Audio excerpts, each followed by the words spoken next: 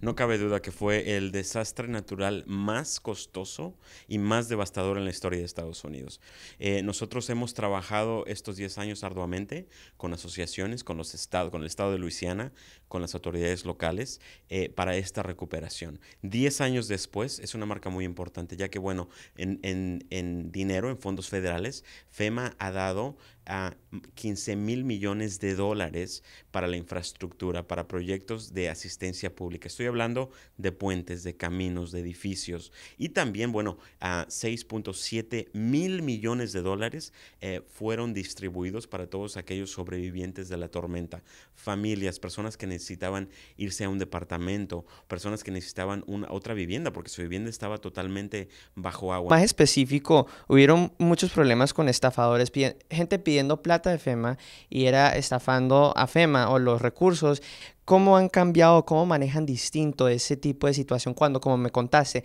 le han brindado plata a particulares o a contratistas? ¿Cómo, cómo han arreglado eso para que la gente no estafe a FEMA o cualquier recurso nacional o federal? Eh, si alguien, algún sobreviviente viene para con nosotros, nos, nos enseñan los documentos necesarios para poder recibir asistencia de FEMA, bueno, nosotros les damos esa asistencia. Si después, durante el transcurso, algún eh, inspector se da cuenta